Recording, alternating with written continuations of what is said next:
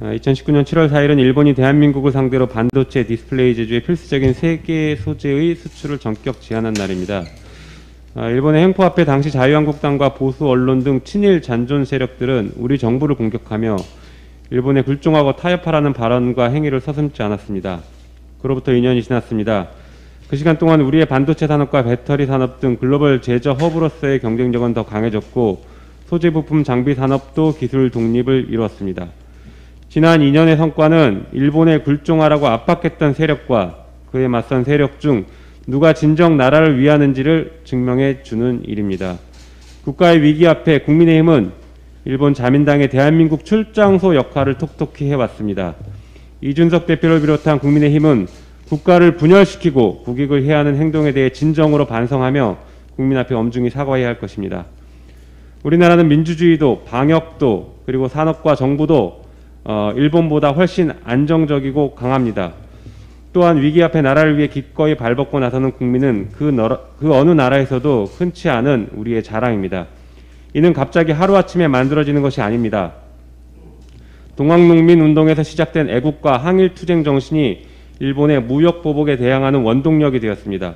소부장 기업을 일으켜주신 산업 영웅과 코로나19에 헌신해주신 방역 영웅, 일본 제품 불매 운동을 이끌고 동참해 주신 국민 모두가 목숨 걸고 일제에 맞선 동학 농민들의 후예이며 그 정신을 이어받은 것입니다.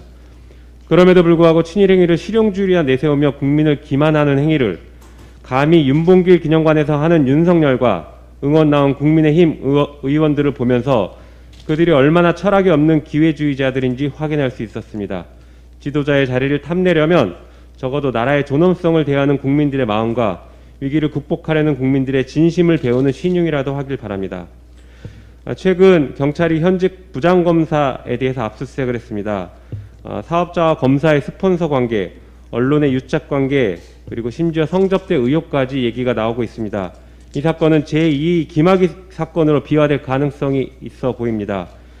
아, 그래서 검찰이 김학의 사건을 그렇게 덮으려고 했던 것은 아닌지 의문이 듭니다. 한편 윤석열 검찰과 친검 언론들이 권력형 비리라고 대대적으로 떠들었던 조범동 사모펀드 사건은 결국 거짓으로 드러났습니다. 정경심 교수가 조범동의 사모펀드 범죄에 공모했다는 혐의에 대해서 대법원에서 무죄가 확정되었습니다. 정경심 교수 본인 사건의 1심과 같은 결론입니다. 이는 단순히 일부 범죄 혐의의 무죄 확정을 넘어 윤석열 검찰과 언론, 일부 동조자들이 기득권을 지키기 위해 사건 조작과 허위 사실로 명예를 훼손한 범죄를 공모한 것으로 평가할 수 있습니다. 더 나아가 이 비민주적인 정치 검찰 연대가 문재인 정부에 타격을 입히고 윤석열을 대통령으로 만들려고 한 기획이 아닌지 의심스럽습니다. 비민주적 검, 그 정치 검찰 연대와 친일 연대를 해체하기 위해 우리 모두가 비상한 각오로 오늘에 임해야 할 것입니다. 검찰 개혁과 언론 개혁은 그, 그 과정의 일부입니다. 이상입니다.